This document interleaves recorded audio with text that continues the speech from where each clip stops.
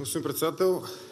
Както очаквахме, така нареченият френски компромис за Македония от средата на миналата година не струва и хартията, на която е писан.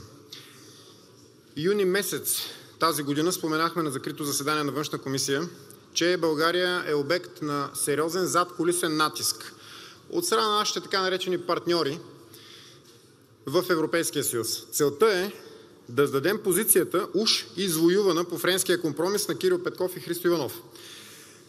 Какво имам предвид? В края на април тази година в Комитета на постоянните представители, така наречения Корепер, или още известен като кухнята на Съвета на Европейския съюз, където реално се вземат решенията, Германия и Австрия се застъпиха за преждевременното откриване на Втората междуправителствена конференция за присъединяването на Северна Македония и Албания, без преди това да се е състояла договорената реформа с включването на българите в Конституцията на Република Северна Македония.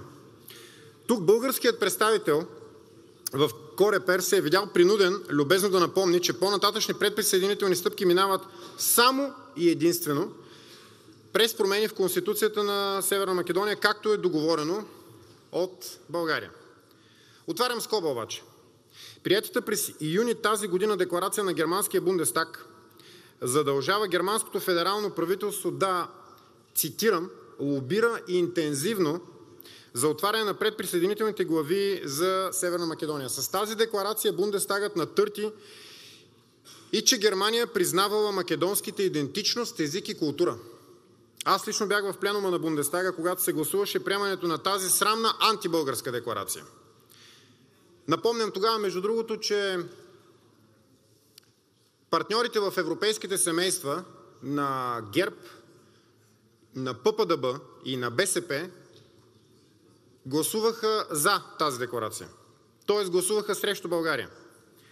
Впоследствие така нареченият специален пълномощник на германското федерално правителство за Западните Балкани Мануел Сарацин заяви в интервю за проводника на ляво-зелените демократични ценности в България Deutsche Welle, че германският Бундестаг всъщност само бил препотвърдил с декларацията си българската позиция, според която предприсъединителните глави за Северна Македония ще се отварят само след конституционната промяна. На въпрос дали германското федерално правителство и Бундестагът предварително са обсъдили предстояща декларация и със София, било то с нашето правителство или с представители на български партии, Сарацин заяви, че то просто спадало към добрия тон между партньори и приятели. Отново отварям скоба. Добрият тон между приятели и партньори означава да си говорят и да се уведомяват, когато предприемат действия, които касаят ответната страна. В конкретния случай партньорите на тези партии в българския парламент не са ги предупредили за това, че ще гласуват срещу българския национален интерес. Нашите партньори обаче от Алтернатива за Германия ни предупредиха и затова ние бяхме там и направихме каквото можем според нас в момента, за да предотвратим това антибългарско гласуване. За съжаление обаче Алтернатива за Германия и другите партии в германския Бундестаг не бяха достатъчни, за да защитят българския национален интерес, особено при липсата на желание на България да защити българския национален интерес. Все пак трябва да питам правителството, парламентарните групи, някой от Вас да е бил уведомен предварително за тази декларация извън ВЪЗРАЖДАНЕ? Отговорът е ясен, защото и въпросът е риторичен. Затварям скобата и резюмирам. Германската законодателна власт в лицето на Бундестага уж препотвърждавала нашата позиция по компромиса на Петков и Иванов. Германската изпълнителна власт в лицето на представителя им в Корепер обаче подкопава нашата позиция.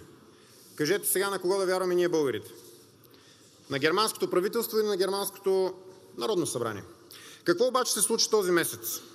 Последните две-три седмици външни, национални и наднационални играчи, като Испанското председателство на Съвета, са достигнали нови висоти в наглото прегазване на уж изгодния за нас българите френски компромис. Естествено, българското външно министерство мълчи, както винаги. Нека изнесат фактите обаче. Кажете на българите какво се случва с така наречения френски компромис. Тъй като Министерството на външните работи няма да го направи, ще кажа аз какво се случва.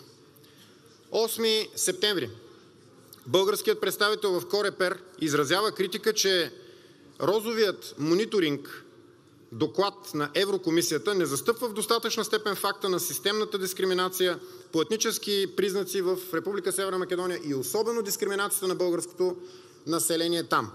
Дотук добре и похвала за нашия представител. 12 септември, 4 дни по-късно, положението ескалира. Нашият представител държи в Корепер дълга реч и обвинява Испанското председателство на Съвета, че с мнимо писмо към Северна Македония на практика торпилира френския компромис. За какво? И да реч. Такива писма са по-скоро част от предприсъединителните договори и преговори. Тоест част от онези преговори, които би следвало да започнат едва след промените в Конституцията на Северна Македония, както се договориха за България Кирил Петков и Христо Иванов. С такива писма се информират страните кандидатки за критериите за откриване на предприсъединителните глави, а страните кандидатки от своя страна предоставят така наречените пътни карти. Нашият представител е заявил пределно ясно и затова е редно да му благодарим, нека да продължава в същия дух, нетипично за нашата страна впрочем, че изпращането в частност на писмото на Македония към Македония противоречи на Френския компромис, при което представители на други страни членки са му се нахвърлили вербално. Да, още веднъж ще кажа, така наречените партньори на България в Европейския съюз са нападнали българския представител в Корепер. Не трябвало това, което са казвали те, и не един, не двама, не трима представители на други държави, на практика половината от представителите в Европейския съюз в Корепер са казали на българския представител, че не трябва да товарим процеса с проблеми от двустранно естество. Тоест така на практика се поощрява Македония да не предприема никакви уж договорени промени. Оставям на страна и факта, че нашите уж партньори в Европейския съюз се опитват да ни поставят пред свършени факти. Нека да кажа директно. В Брюксел при закрити врата нас ни бодалкат, а ние тук се опитваме да си играем на външна политика. Къде е Министерството на външните работи на България, къде е министърката Габриел, къде са договорилите този уж компромис Петков и Иванов. Нека да напомня и друго. Не е изключено уж договореното по Френския компромис вписване на българите да се състои единствено и само в преамбюла на Конституцията на Северна Македония, но не и в отделни членове, с което на практика да обезсмислят този компромис. Каква правна стойност и гаранция за правата на българите има вписването им в някакъв преамбюл? Не е задължително преамбюлите да конституират права и задължения. Тук по-скоро би било нужно да се намесват тълкователно съответните конституционни съдилища, както например е случаят с преамбюла на германският основен закон. Не по-малко важно е следното. Началникът на делегацията на Европейския съюз в Скопие Дейвид Гир твърди в Корепер, че нямало абсолютно никакви доказателства за системна дискриминация на хората с българско самосъзнание в Република Северна Македония. Ще го кажа още веднъж, защото половината от вас не слушат и си запят телефоните. Пред деле... началникът на делегацията на Европейския съюз в Скопие, иначе казано посланникът на Европейския съюз в Скопие, е казал ясно и категорично в Корепер, че няма никакви, никакви доказателства за системна дискриминация на хората с българско самосъзнание в Република Северна Македония. За кого точно работи Европейския съюз? За своите членове или за кандидат членовете си? Очевидно не за нас и не за българския интерес. Макар, че тук има хора, които късат ризи, обяснявайки как без Европейския съюз няма живот. Нека цитирам малко данни на вниманието на ГИР и на вниманието на за другата, на македонското еврочленство, видни представители на която са евроатлантиците, тежка категория, Кирил Петков и Христо Иванов. От около 100 000 души с българско самосъзнание и паспорти, доказани, защото те иначе са доста повече, точно 463 са се явили до урните в Македония за парламентарните избори у нас тази година. Сами се досетете защо. Мисля, че няма смисъл да ви давам жокери, но все пак да кажа. Случаите Пендиков, Кадриевски и много още други. Хора, които бяха пребивани, заплашвани с убийство, само заради това, че се изявяват активно като българи. През юни миналата година бе направен опит за палеж на един от двата български културни центъра в Северна Македония. През октомври другият културен център бе нападнат с брадва, докато вътре се е заседавало. При откриването на същия този център протестиращи замериха сградата с яйца и камъни, носиха плакати с риторика срещу ЕС, който според тях подкрепял фашистските претенции на България, а министърът на вътрешните работи на Македония по това време се солидаризира с озверялата сърбоманска тълпа. Да не говорим за това, че се стреля срещу българския клуб в Охрид и по чудо или божия намеса няма убити българи. Какво последва? Веднага след като бяха нападнати българските клубове, нямаше намеса на македонското правосъдие срещу нападателите, а се прие перверзно законодателство с влизане в сила със задна дата, за да не могат да се откриват повече български културни центрове.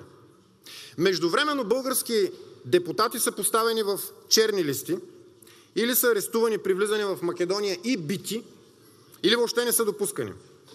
Бит и съден беше народният представител Ангел Георгиев, който тогава, между другото, беше и представител на България, председател на нашата делегация в Асамблеята за парламентарно сътрудничество в Югоизточна Европа, където влиза и Македония. Също такъв, макар и слава богу, без бой и без съдене беше случая с евродепутата от ГЕРБ Андрей Ковачев, който не беше допуснат да влезе в Македония. Оказа се, че македонците имат черни списъци и за евродепутати, не само за български депутати. Като стана дума за ГЕРБ обаче, Вашите партньори в Бундестага, християн-демократите, още юни миналата година, малко преди френския компромис, така наречения френски компромис, внесоха предложение, точка 8 от което предвижда федералното правителство да окажело натиск върху България с оглед на това, цитирам, отново цитирам, повече България да не пречи на предприсъединителните преговори на Република Северна Македония. Ние пречим според партньорите на ГЕРБ, ХДС. Знаехте ли за тази проектодекларация или е минала някак си под Вашия радар, господа от ГЕРБ? Вземете се в ръце и поговорете с Вашите уж партньори в Бундестага, за да може в крайна сметка това Ваше партньорство да има някаква изгода за България. Така, както ние го правим с алтернатива за Германия. И последно, дали се подкопава или не се подкопава така наречения френски компромис на Петков и Иванов, в крайна сметка няма значение за българщината в Македония. Едно включване на българите сред още 6, 7 или 8 народности в Република Северна Македония, дали в някакъв преамбюл, дали в отделни членове, забива последния пирон в ковчега на българския характер на Македония. Пред паметта на поколенията, паднали за българщината, оттатък Осогово и Ограждан, сме отговорни всички ние. Всеки по-своему. А всеки един от нас тук в тази зала трябва преди всичко да се грижи за българския национален интерес. Ние от ВЪЗРАЖДАНЕ го правим и няма да спрем да го правим. Замислете се Вие дали го правите.